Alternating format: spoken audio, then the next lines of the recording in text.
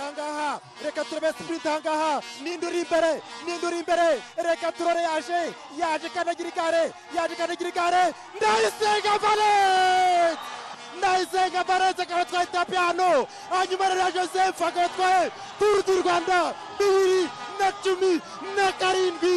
areruya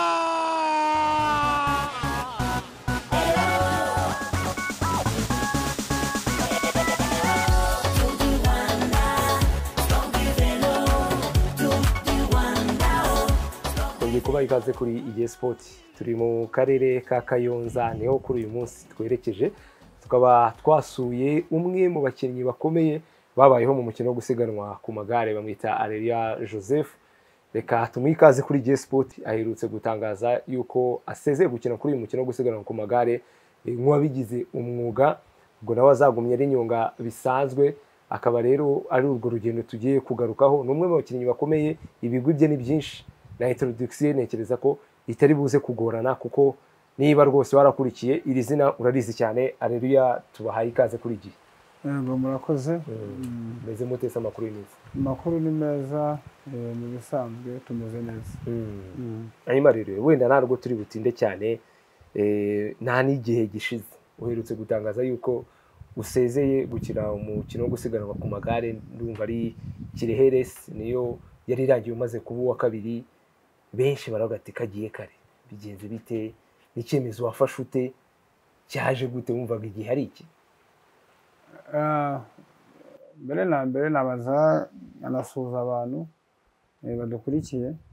Ah, nk'uko wari ubimbajije ngo gufata icyemezo cyo gu- cyo guhagarika mu mukino wo gusiganwa ku magare ni ibintu nari maranye igihe kirekire ariko nkifuza kubikora byibuze ariko wenda nagaragaje ko mbivuyemo nshoboye wabibonye koko nk'uko bivuze byatangajwe nyuma y'uko nari mvuye gukinira kursi yo muri kirehe yari nabaye wa kabiri nifuzaga kuyitsinda noneho nkabona gusezera ko ntabwo byakunze imana ariko yabishatse ariko n'ubundi intego nari nyifite yo guhagarika umukino wo gusiganwa ku magare kugira ngo bya- byaranguraga cyane kuba wenda nafasha aba- abana batoya ndi muri uwo mukino.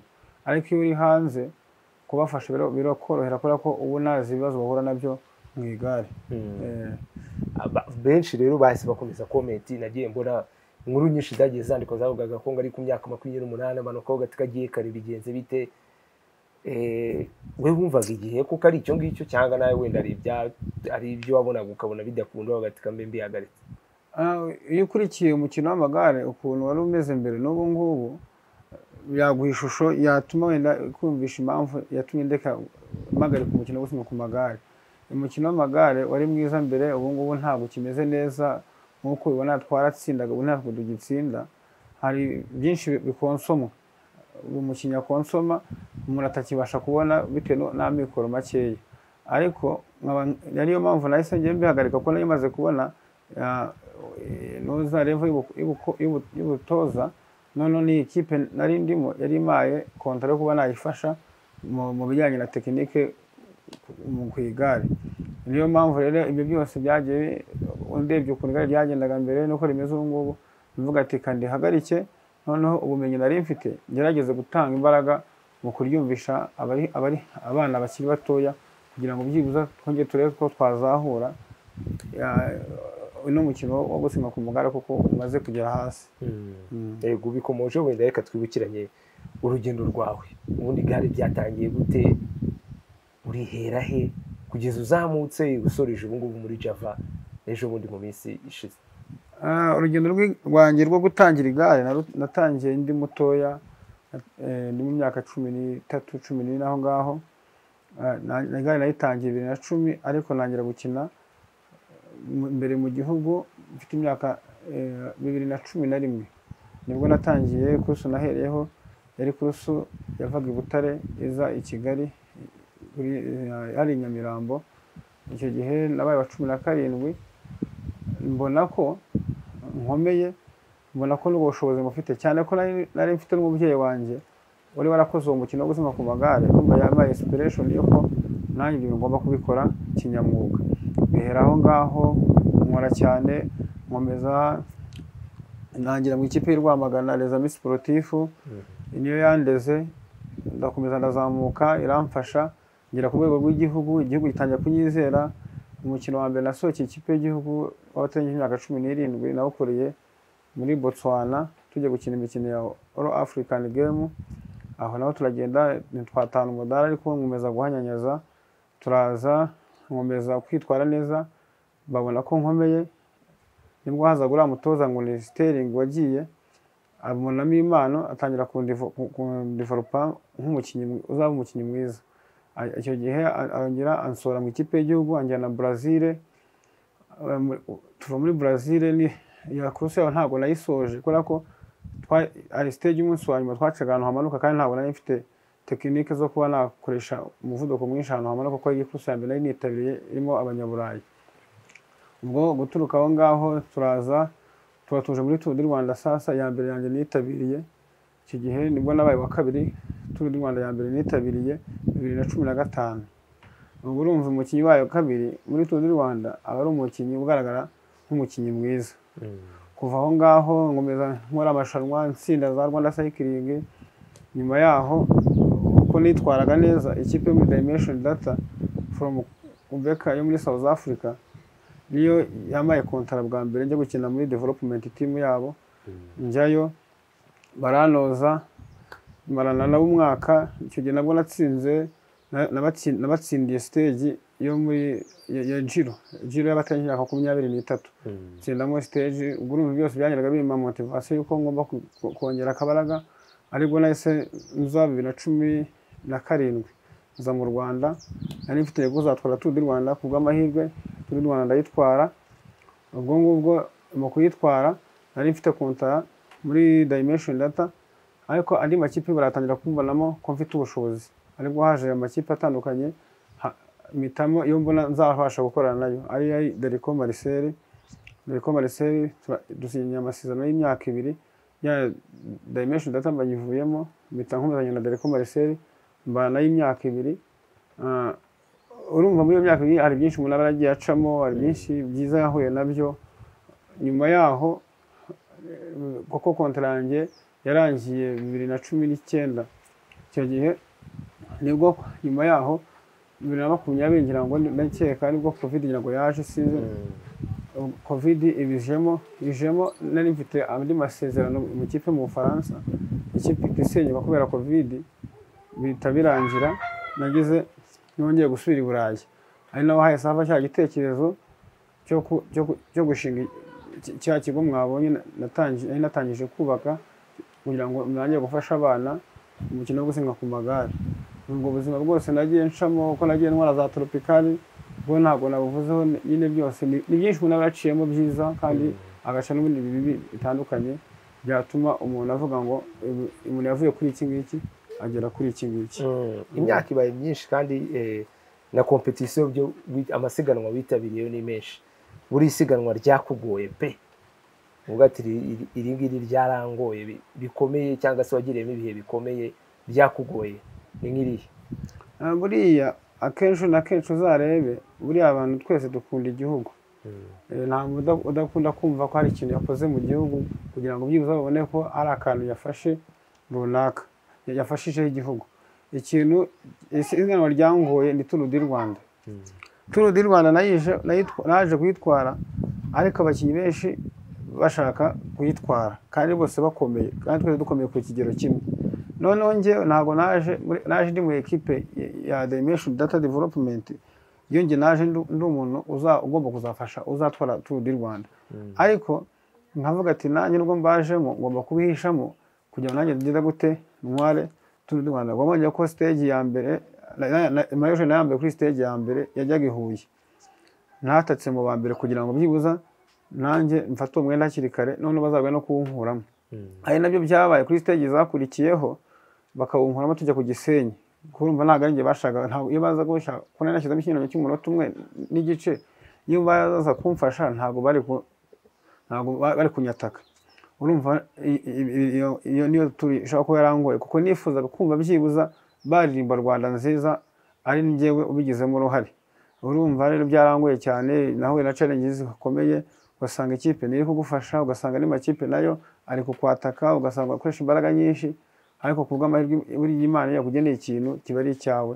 Ariko wumva iyo washyizemo ubushake imana igufasha ariko wifashije. Navuga ko mu marushanwa yose nitabiriye turu di rwanda yaza ku mwanya wa mbere hagakurikira kurusu na kinyi bita karasike y'umunsi umwe yo mu bufaransa bita parirubi ni kurusu y'ibirometero magana abiri na mirongo itanu na birindwi. Bakina mu muhanda bakina ibirometero ijana mu mabuye mu- muri kaburimbo bagakina ibindi ijana na mirongo itanu na birindwi mu muhanda w'amabuye. Iyo ngiyo na yo nari ifite intego kubera ko wanjye wo mu rwanda siteringi yari yarampaye intego ambwira ngo nuramuka utwaye iriya turu njye nzaguha inka. Noneho ngenda nshaka kwerekana iryo shema by'uko hari byinshi yari yaranoje byinshi yamaye anashyiraho iyo ntego yo kugira ngo mwereke ko mfite ishyaka birangira niziritse kubwo amahirwe ya turupika ayimini iyo parirube ndayisoza. Ntabwo ko muri aya marushanwa uko ari abiri niyo marushanwa yamvuye muri kariyeri yanjye y'igare. Uri umwe mu ba- mu bagize sigisi ikomeye cyane kabisa kuko bibiri na, cumi n'umunani wigeze no kuba umukinnyi wa mbere muri muri afurika igihe cyarageze kiriya gihe igare ryari rimeze neza. Unatangira wavuze ko ibintu byahindutse. Ni ibiki byakorwaga kiriya gihe bitari gukorwa ubu ngubu kugira ngo ibintu bi- bi- bigume aho ngaho? Ibintu byapfiriye nk'amwe mu- muba muri uyu mukino? Ah, ahantu ibintu byapfiriye byapfiriye igare ryapfuye umunsi b'abazungu bari barifite mu nshingano ubwo basubiraga muri amerika. Kubera yuko bahuye na challenge nyinshi y'abantu benshi batandukanye muri uyu mukino babibonagamo ko babivanamo umusaruro ariko yego umusaruro bawukuragamo kuko ntawe ukama ejo ataragiye ariko nabo hari icyo batangaga. Noneho ibyo batangaga bakagira ibyo bakuramo twebwe nta muntu uhari ngo abitange. Niba barifataga bakohereza abakinnyi kwi- kwitoreza mu muhande bakasara kujya mu busuwisi bakabasara aho za brazil twajyanaga ari bo batujyanyeyo aho mu- bufaransa twajyaga ari bo batujyanyeyo muri kampu hariya. Icyo gihe ngenda byibuka ba- bahari. Ngewe nahembwaga ama- amadolari ijana na mirongo itanu ku kwezi. Noneho mu cyumweru bakampemba amadolari cumi n'atanu. Wakuba wateranya ukumva amadolari mirongo itandatu asanga yayandi ijana na mirongo itanu. Ayo ni amafaranga yafashaga umukinnyi. Yaba yanatashye yaje mu rugo akaba ya- yagura iyo sabune akaba yagura iyo pine kandi ikindi bo bari bafite amagare. Barifataga ba- ba- babona ba- babona umwana ukomeye bakamuhamagara akaza mu kigo bakamukoresha tesite bakamuha igare. Umwana wa- inanga yaba agize ikibazo cy'ipine cyangwa ibikoresho bakamukoreshereza. Ariko ubu ngubu icyo kintu nta gihari. Santire ubu ngubu ntiwamenya ibintu isigaye irimo. Urasanga harimo abantu baje gucumbikamo bari muri bizinesi ah, ugasanga niba umukinnyi agiye mu kigo gukoresha igare a- ageze kwanza kugira ngo ubyumve neza ubu ngubu. Agize n'ikibazo cyo kuvuga ngo agira ikibazo i Musanze ntafite uburenganzira bwo kuba yakinjira muri cya kigo ngo abe yakiryamamo. Ariko icyo gihe abazungu waragendaga bakaba bagufungurira ukaryama mu gihe wagize ikibazo wageze i Musanze uri umukinnyi.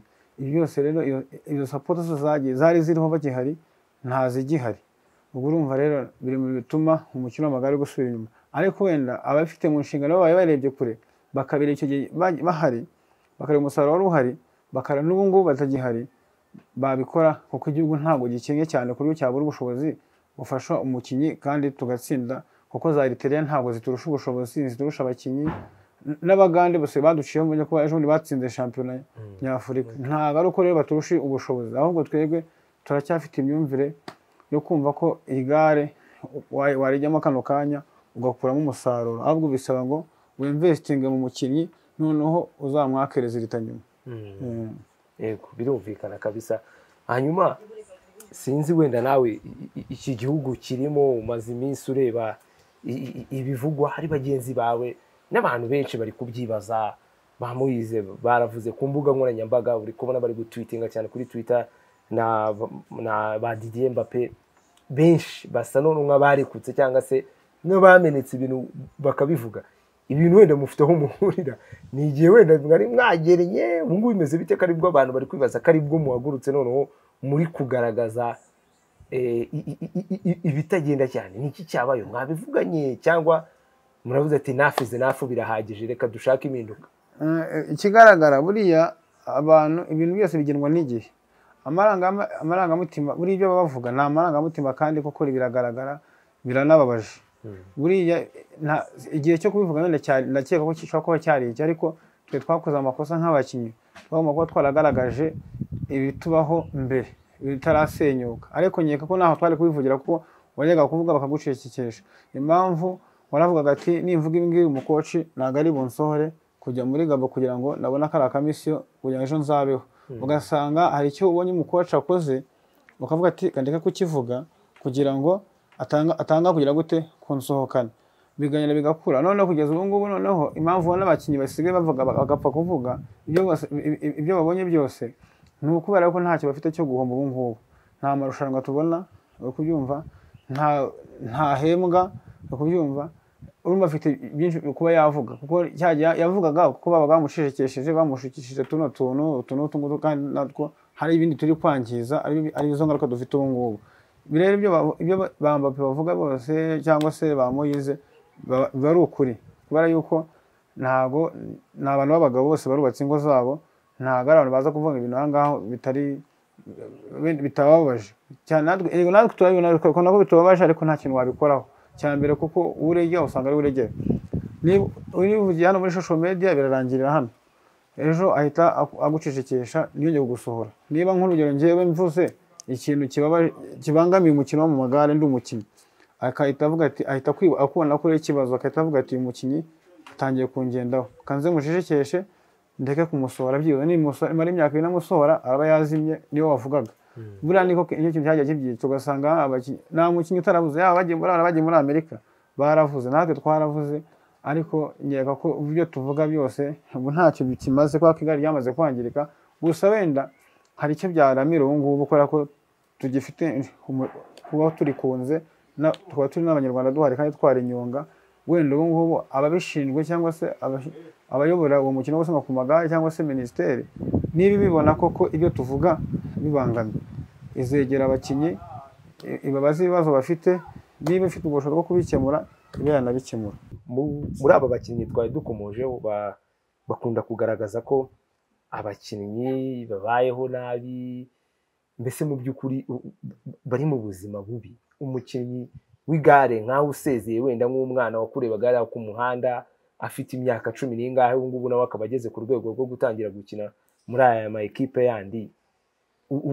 Unasezeye yakibaza uyu mugabo ugiye ni iki yarikuyemo ubu ngubu bimeze bite? Koko mubayeho nabi koko?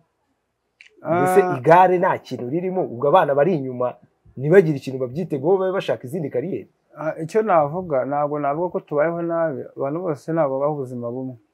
Hari ababayeho nabi hari n'abayeho neza bitewe n'uko wese yagiye asevinga ibyo yakuyemo Eh, ariko akenshi na kenshi ntabwo buriya abavuga ngo babayeho nabi ntabwo ariko baba babayeho nabi. Ahubwo baba bagira ngo bavugire abana bato bari kuza muri uwo mukino kugira ngo byibuze niba nanjye nanasezeye ibi bintu mbe narabivuze bizagira icyo bibafasha. Iyo umuntu avuze amagambo nk'aya rero kumva ko umuntu wenda abayeho nabi.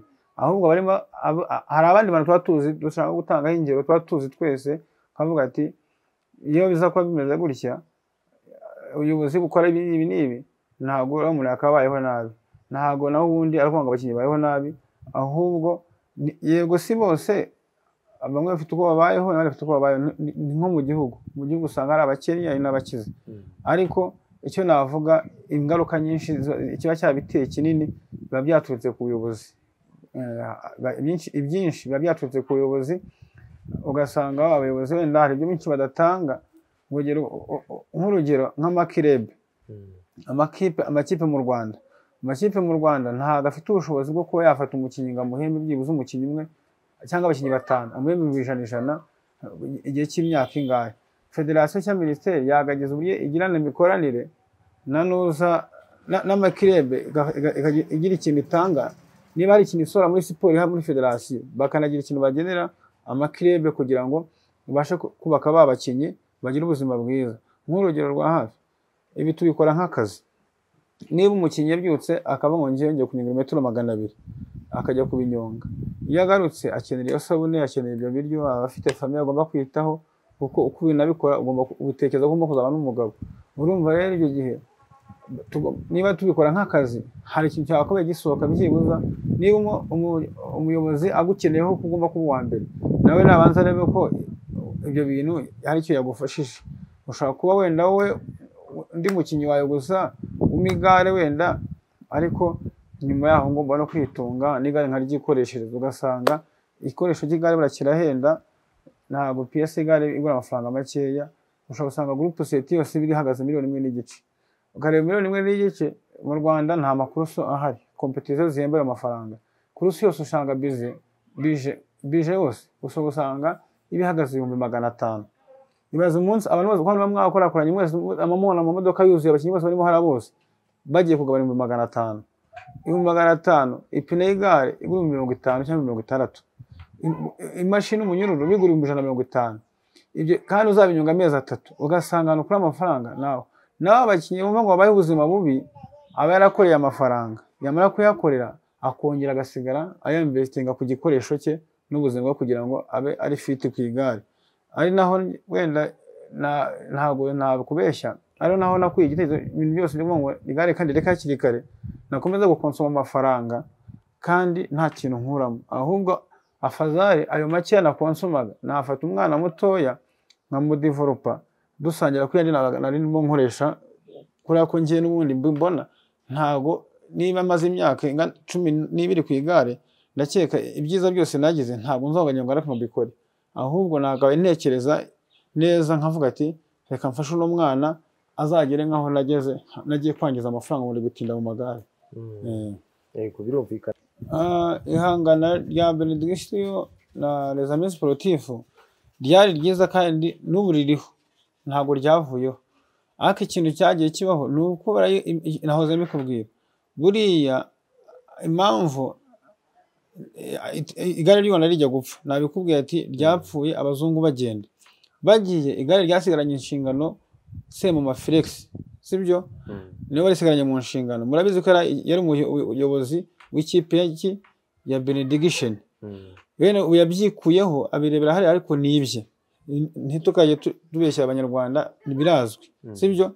Noneho ni we uhamagara ikipe y'igihugu. Urumva ahamagara abakinnyi benshi be baza muri iyi kipe ye. Kandi umukinnyi uko umuha imikino myinshi niko akomera.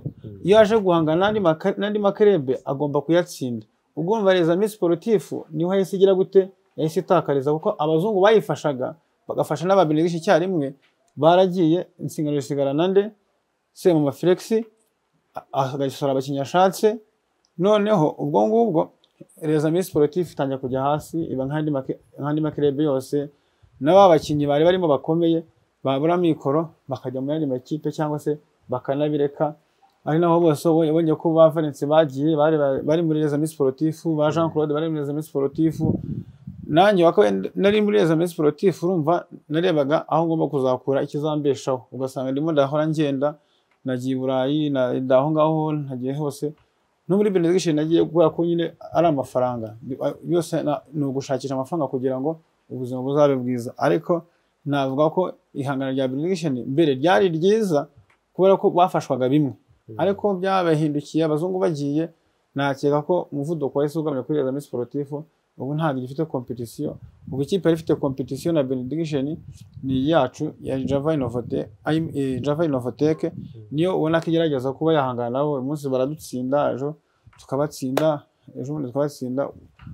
Niyo mpamvu wenda navuga ko ariyo mpamvu kuba aba- abazungu bafashaga mbere Les Amis Sportifs ariyo mpamvu itagifite umuvuduko wo kompeta n'andi makirebe. Abasesenguzi mu by'igare eh, bagaragaza ko hagati ya bibiri wenda na cumi n'umunani na cumi n'icyenda kuko cumi n'umunani rwari umukinnyi wa mbere muri afurika utwara amakompisiyo menshi za za la tropicale na misa bongo nta gihe cyari giciyemo utwaye tour du rwanda icyo gihe wari hejuru pe. Bigaragarira buri muntu wese ku mugabane wa afurika ati ariko kugera za bibiri na cumi n'icyenda hasa nk'aho babura ukuntu babisobanura ngo ushobora kuba waragize nk'ikintu kimeze nk'uburangare bikagenda ukundi kuntu ugahita ushita ukajya hasi. Byakugendekeye bite? Abantu basesengura gutyo bo nawe ni kubyemera byakugendekeye bite kugira ngo utaguma nyine aho ngaho top? Ah, nahoze mbikubwira ko buriya abazungu bakimara kugenda. Umuzungu wari umfashe kiriya gihe yari Sterling. Niba mwarakurikiranye neza umunsi yagendeyeho. Ni nawo munsi igare ryanjye ryahise gute? Ryarangiye kubera yuko njye nari mfite nari ndi mu bantu bagomba gukina olympique noneho mbere ya olympique olympique ye bibiri na makumyabiri. Ya makumya- bibiri na makumyabiri. Mm. nari mfite mariage. Noneho nyuma ya mariage biba ngombwa iranyafekita sinakitwa neza muri Tour du Rwanda. Ariko kuko nari nzi ko nzajya gukina Olympique ngaruka nkoresha imbaraga nyinshi n'amafaranga menshi kugira ngo mbe kuri standard yo gukina Olympique noneho aho naciye ikinege baza no kumpamagara njya mu myiherero bam- bambwira ngo nzajya gukina Olympique nzajya gukina Olympique. Icyo gihe Semuma ni we wa- wa- wa- wa- wagenaga abagomba gukina Olympique. Mm. ari bwo wese ansiga atwara Moyize ibyo bitangira kugenda binyafekita urumva uko nawe uri umuntu. Wariteguye cyane kandi ubona ko ufite ubushobozi kandi ubimerita n'uwo muntu kandi ubona ko umurusha ukabona baramutwaye. Utangira gucika intege. Ariko nahise ncika intege mbona ko igare ryanjye nyine ritakimeze neza kumenya gupushinga n'umuntu ugutegeka buriya biragoye cyane kuba wajya hano ngo uvuge nk'umukinnyi ngo uriya muntu ngo arabangamye arabangamye kandi nta evidence ufite zo kugaragaza ko uriya muntu akubangamiye icyo gihe rero bitangira kugenda bigabanyuka nyine ni nka nyonga nkumva nta motivasiyo ihari nta rimwe na rimwe bagasohora amaki- abakinnyi bajya gukina mu ikipe y'igihugu hanze si bansohoremo kandi ubizi neza ko ubarusha. Unakomeye kubarusha. Ukabona nyine uri wangiza igihe cyawe rimwe na rimwe ntiwitoze ukabereka ariho byahise nyine umuvuduko ugenda ugabanyuka ngenda nyine mbireka ari naho ejo bundi igare naje kurireka ariko sinatangaza igare nariretse. Mm.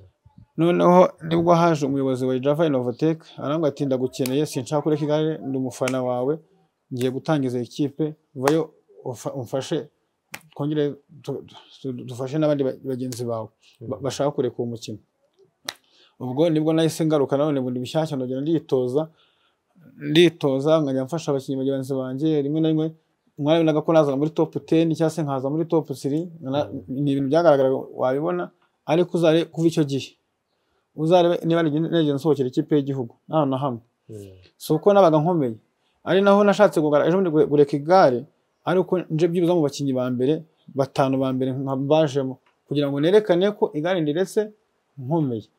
Mpita rero ibyo byose nyine byagiye bituma umuntu agenda acika intege igare bimviramo nyine no ku- no kuba nariparika burundu aho ngasigara mfasha abana bakiri bato. Mm. ibyo bicanege byaba ari byo bihe bibi wagize muri uyu mukino? Wenda umuntu ari kwibaza bya bihe bi- byakugoye pe hahandi wari uri hasi ukumva wanarireka. Ibihe bibi wagize mu igare ubwo wowe nka nka rero ubibara nk'ibihe Eh, urumva ibintu byose navuze byose hakuyemo ibibi hakuyemo n'ibyiza. Urumva ntabwo ibintu byose bigomba kuba byiza kandi ntabwo wahora avuga ngo ibintu biraba byiza. Ubyuka wateguye plani zawe imana ikagutegura izo ngizo. Navuga ko ibyo byose izo ncantege zose nahuye na zo na zo ni ibihe bibi? Kuko ntabwo ikintu wahura n'ikintu kibi kikubabaje wumva ko ari ikintu cyiza kuri wowe. Navuga ko byose byabaga bikubiyemo ejo byabaga ari byiza uyu munsi ari bibi gutyo nyine ugasanga ni bwo buzima tubayeho. Ibihe byiza wibuka kugeza ubu ngubu byandi wicaye ukavuga ati iki gihe n'ejo yigaga igare kabisa ku ku rwego rukomeye n'ubu ngubu ujya wicara nabonye ibikombe byinshi hano muri salo yawe. Eh, bya bihe ujya ukumbura by'igare byiza byo ni ibihe? Ibihe byiza birumvikana gutwara toropikale byari ibihe byiza wabonaga tukigera i kigali wabonye ukuntu hari ambiyansi y'abantu bakwishimiye kiriya gihe hari abana batoya bifuza kuba nka kuriya ba- ntwara turu di rwanda baremye rwanda nziza abantu benshi bifuza kuririmbirwa rwanda nziza buriya rwanda nziza ni indirimbo iryo si indirimbo wabyina ngo ibyinitse cyane ubone ko ariko ni indirimbo ituje ivuga amagambo meza kumva bari- kuyiririmba rero kubera ko babigizemo uruhare. Biba ari ibihe byiza umuntu aba agomba gukumbura urumva nagize ibihe byiza bitandukanye aho nagiye mba mu makipe atandukanye twagiye dutsinda hakaba ibihe byiza nagize ibihe byinshi bitandukanye mu myaka yose maze ku igare. Mm. ubu rero areruya yashyize akadomo mu gukina. Yerekeje he? Ejo bundi wari uri kuvuga ko ukiri muri muri java? Baragutangaje twagiye tubona mu- inkuru nyinshi zagiye zandikwa zivuga yuko uri umwe mu batoza bayo cyangwa se umutoza wungirije ubu areruya noneho tu tumubarize he nyuma yo gusoza gukina nk'uwabigize umwuga. Ah, ah, njyewe ubu ngubu icyo navuga ntabwo ngiye kure umukino wo gusiganwa ku magare. Urumva niba baba batangaje ko nasinyiye ikipe runaka ngiye kuyifasha kuba nayitoza ubwo urumva nuko igare nkiririmo. Intego ngiye mfite niyo kuzaba byibuze umutoza w'ikipe y'igihugu kubera ko impano mfite muri njyewe ntabwo nifuza ngo ipfukiranwe nimva ko ubushobozi njye mfite mu- mu mutwe wanjye n'ubwenge mfite nakaba mbifashisha byibuze nk'abana ijana mu gihugu. Bakajya bavuga ati areruya hari ikintu yangejejeho areruya hari ikintu yankoreye gutyo kubera yuko iyo ufashije umuntu nta kintu kiryoha nko kubona uhuye n'umukinnyi waramufashije mu- ku igare yarateye imbere yarabaye umuntu w'umugabo Bi- biryoha kurusha kuba wafasha n'umuvandimwe wawe. Rero intego ngewe mfite niyo kubyibuza kuva kuri kuri level one y'ubutoza nkajya kuri level ya gatatu nkaba natoza n'amakipe y'u Burayi ariko icyo nifuza ni ugutoza ikipe y'igihugu. Mm. cya kintu rero gifatika ubwo turi kugenda tugana ku musozo cya kintu gif- gifatika wamurikira umuntu cyangwa se wagaragariza umuntu wakuye mu mukino w'igare wabwira umuntu ukakimumurikira ni iki? Cyane ko ubu ngubu iki kibazo nyibajije kubera ko muri iyi minsi n'ibyo turiho twavugaga mu kanya amakuru menshi ari mu igare ya- ryamaze kugaragara nk'ikintu cyangwa se nk'umukino eh, mubi abawurimo batagira ikintu bariho mu by'ukuri bazahaye bari hasi ibintu bi- byakomeranye.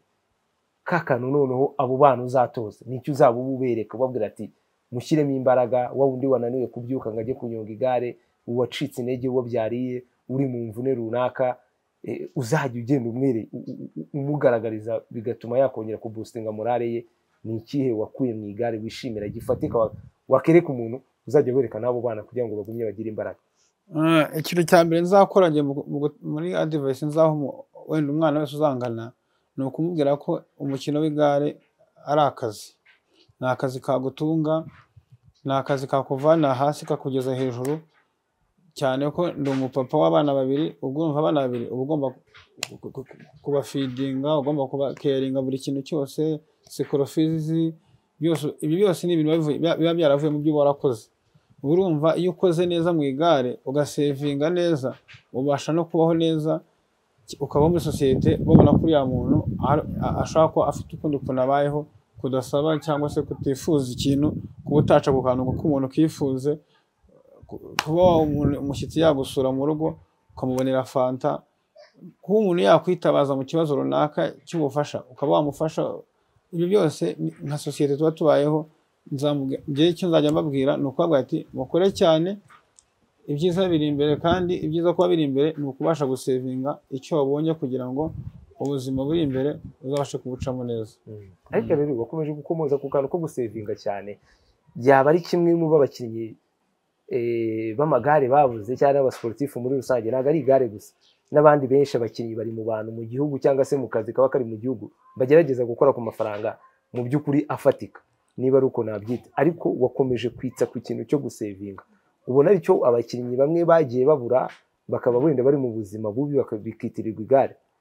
Eh, nanone eh, nabivuze na- navuze ati kuba umukinnyi yaba ubuzima bubi si uko byaba ari abayobozi cyangwa se ikindi. Amafaranga yaba Eh, atarayabonye Eh, nawe ashobora kubigiramo uruhare nk'urugero ashobora kubona amafaranga nashyiramo imibare myinshi akagira ngo amafaranga buriya amafaranga y'abasiporutifu cyangwa se n'abandi bantu bose iyo iyo uyabona gutya ari kuza uba ugira ngo azakomeza aze.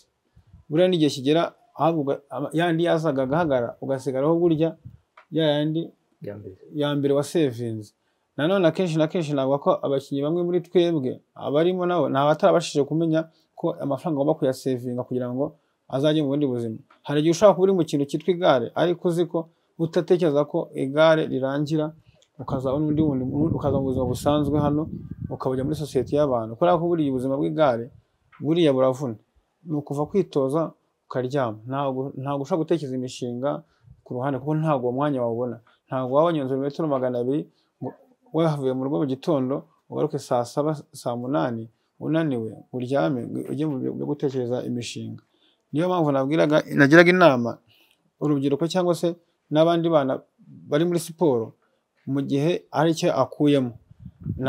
Ntabwo bivuze ko yici- yicisha inzara ariko agomba gutekereza ejo hazaza akaba yasevinga kugira ngo ubuzima bwe buzabe bwiza. Kuko buriya abasiporutifu tugira ingeso yo kwangiza amafaranga kubera ko tuyabona kenshi ukazira buriya akazira icyarimwe buriya umuntu yabonye magana atanu biza icyarimwe bitari umushahara aba ari amafaranga afatika. Rero iyo uyabonye ntuyasevinge niyo hantu ubundi abantu baguseka ati do sarera joseph ntiyanyonga igare yatwara turupirika arimo umuzi do reba ukuntu yabaye.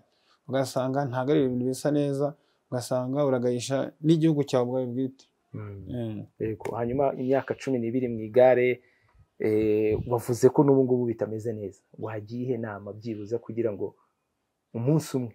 Abanyarwanda bazongere kwishimira uko bakwakiriye ku kibuga cy'indege uzanye na tropicale wabikomojeho ko ari bimwe mu bihe utajya wibagirwa rwanda nziza yongere iririmbwe ubu ngubu turu di rwanda igaragara nk'aho iri kugenda iba amateka mu kuyitsinda ku banyarwanda bya byiza bigaruke.